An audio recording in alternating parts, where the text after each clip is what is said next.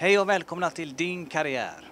Jag befinner mig just nu på en båt, nämligen på Stena Line på väg ut till Danmark. Och jag har fått tag på en kapten som heter Magnus Dahlström för en intervju.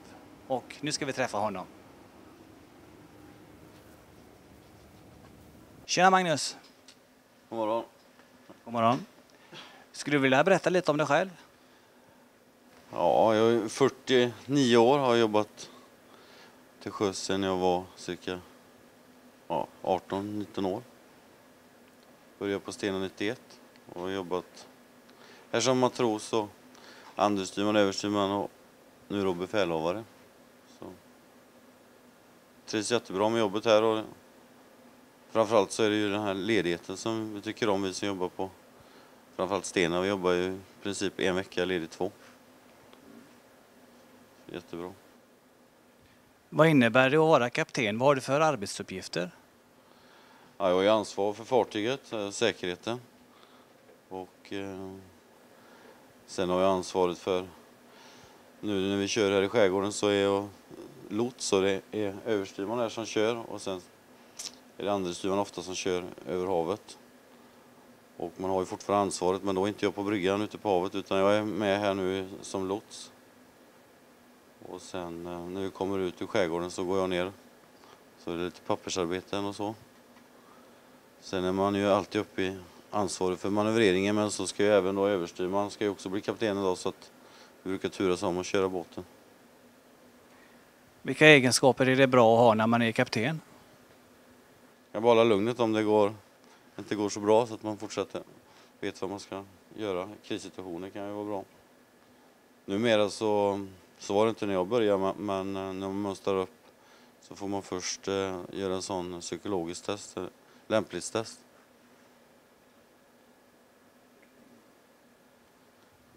Man behöver inte vara sjösjuk, det är en fördel.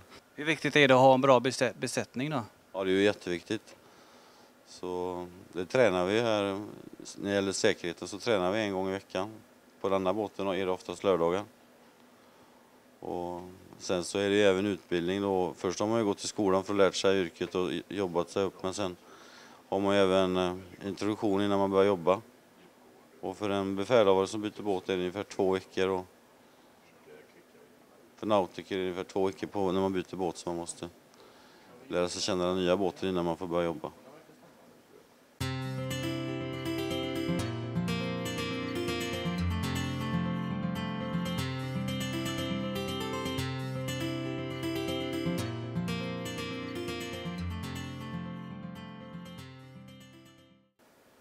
Eh, var, varför ville du bli kapten?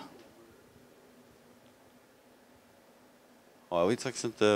Det har smugit sig på allt eftersom. Men, men jag gillar ju sjömanslivet och min far var, var till sjöss också så att det kommer nog därifrån.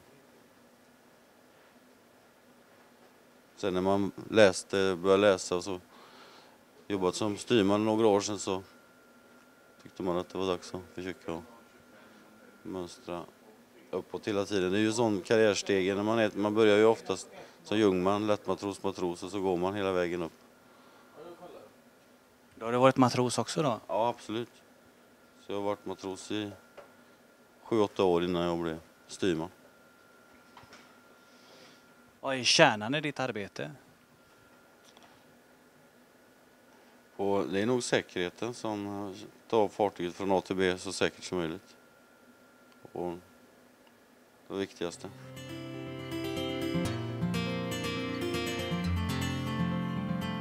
Om man vill bli kapten, hur ska man börja? Ja, numera behöver man inte börja som uh, jungman eller gå den långa vägen utan man kan faktiskt eh, läsa treårigt gymnasium. Vilket som helst egentligen, bara man har behörighet för att komma in på högskola så kan man gå fyra år på Chalmers eller Sjöbefälsskolan i Kalmar. Och då varvar de praktik och teori. Så efter fyra år eh, så kan man då gå ut som andrestyrman. Och sen så ska man jobba som andrestyrman i 36 månader effektiv sjötid. Och när man har gjort det då och klarat alla tentor så, så kan man bli befälhavare om det finns något jobb. Det är lite ont om jobb just nu i, i svenska båtar i alla fall. Men så det är, lång, det är ganska lång eh, tid ifrån det att man börjar i skolbänken tills man är klar befälhavare. Jag har läst eh, att eh, det heter någonting som heter sjökaptensbrev. Vad är det för någonting? Ja, det är, det är just det man får ut efter man har jobbat 36 månader till, till sjöss som styrman. Och då skulle, förr var det så att då skulle en viss tid vara oceantid och en viss tid som överstyrman. Så efter då 36 månader jobbar man då 1-1 så med semester så kanske det tar sju år. Och nu, då kan man ta ut sjökaptensbrevet. Först får man ju ha ett styrmansbrev som man seglar på. Så finns det flera olika styrmansbrev också. Andelsstyrman kan man vara när man går ur skolan efter man har gjort den här praktiken. Sen så är man andelsstyrman i 12 månader, sen kan man då få ut ett nytt brev som heter klass 2 heter det. Då kan man då segla överstyrman och sen efter det blir det sjökapten. Hur känns det egentligen att ha sån stor båt och, köra och ha hela det ansvaret? Nej, det är, tänk- man tänker inte så mycket på det, att det är en stor båt då. Man har, har ju varit på mindre båtar och så växer båten. Jag, jag tänker faktiskt inte på det, att det är en sån här stor båt. Det är som vilken båt som helst när jag sitter där. 250. Vad betyder, vad betyder det? 250? Nej, nu ändrar han kursen till 250 och så kommer vi att möta Stena Germanica där ute. Så vi vill inte mötas här på, så han har kommit överens om nu att vi möts utanför Skandihamnen. Ja, då vet ni det. 250. Ja, alltså så fort vi ändrar kursen så talar han om, så vi har ett sånt Copilot-system så det är Jörgen som kör och så talar han om vad han tänker göra och sen så ska jag repetera det han förstår att jag har förstått vad han har sagt så det inte blir några missuppfattningar här. Hur många kvinnliga kaptener finns det? Det finns många som har gått i skolan eh, nu. Men eh, det finns någon som- på hans tidigare rederi där, Royal Caribbean, där finns det en kvinnlig kapten va? I, två. I Stena finns det ingen kvinnlig kapten. Där har två kvinnliga styrmän i Stena. Så det kanske kommer att bli snart. Men eh, det inte hur många kvinnor. det är. I varje skolklass på 30 elever så kanske det är tre, fyra, fem tjejer.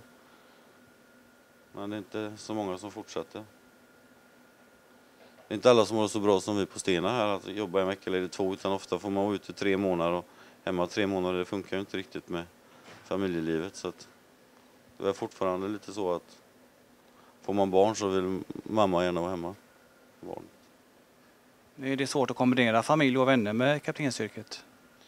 Det kan det nog vara på andra, andra, när man jobbar tre månader och så, så tappar man ju vännerna efter ett tag. Men här, här funkar det jättebra.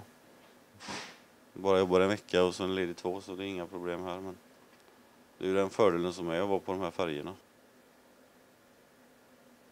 Vad ser du dig själv om tio år? Om tio, om tio år hoppas jag faktiskt att eh, då börjar närma mig pension. Eh, Som det är just nu så kan vi faktiskt gå i pension vid 60 och jag är 49 så jag hoppas jag får vara kvar här och sen bara ha ett år kvar till pension sen. Ja, vi trivs jättebra här. Det är nog alla här på båten trivs jättebra. Så att, eh, jag har inga ambitioner att byta just nu. Jag har ganska nyss bytt. Kom hit för, i februari. Jag har varit på Stena Scanrail tidigare. Vad var skillnaden tycker du på den, det och den här båten? Ja, det är ju en mycket större passagerardel här så att större besättning. Så det är mer människor här. Den stora skillnaden. Följer du rederiet någonting när det gick? Ja, man tittar ju på det absolut. Ett tag sedan nu men eh, det gjorde man. Gjorde du det Jörgen? Ja, du var inte hemma då? Vad tyckte du? Det var något du kände igen eller? Nej, det är nog lite, lite överdrivet där men man kä- kände igen lite grejer. gjorde man ju. Absolut. Kände man igen från Stockholm där. Ja, tack Magnus Dahlström för intervjun. Ja, tack ska ni ha.